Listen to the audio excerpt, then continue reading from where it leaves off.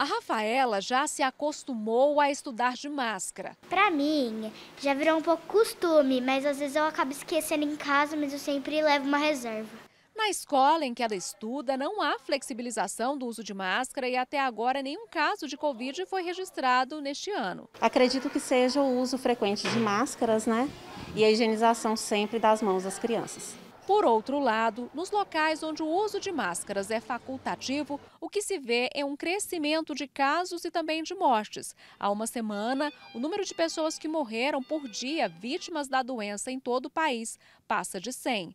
Para tentar evitar um aumento ainda maior nos casos de Covid, que sempre tem um crescimento depois de grandes comemorações ou eventos, a Prefeitura da cidade de Goiás, por exemplo, determinou o uso obrigatório de máscaras durante a realização do Festival Internacional de Cinema e de Vídeo Ambiental, que acontece agora do dia 24 de maio até o dia 5 de junho. Essa decisão de trazer o uso obrigatório de máscaras para os ambientes fechados foi justamente para trazer uma segurança, tanto para a população vilaboense como também os turistas que chegarem a Goiás.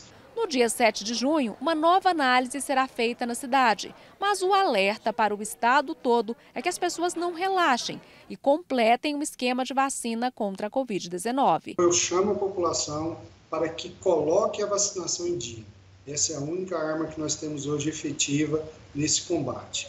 E aí, as pessoas que estão querendo vir para a cidade de Goiás, fiquem tranquilos, pode vir. Nossa equipe de saúde está vigilante, está atenta e essas medidas foram tomadas justamente para trazer segurança para o FICA e outros eventos que vão acontecer na cidade para evitar dor de cabeça na escola que mostramos no começo da reportagem e que pode ser uma inspiração para outros estabelecimentos, os cuidados permanecem em alta. A criança que está sem máscara, a tia da portaria pede para estar tá usando. Então sempre ou eles chegam sem, tem na bolsinha já a reserva. E por aqui todo mundo entende o motivo e colabora. Eu acho que é bom, né? Para até acabar o Covid.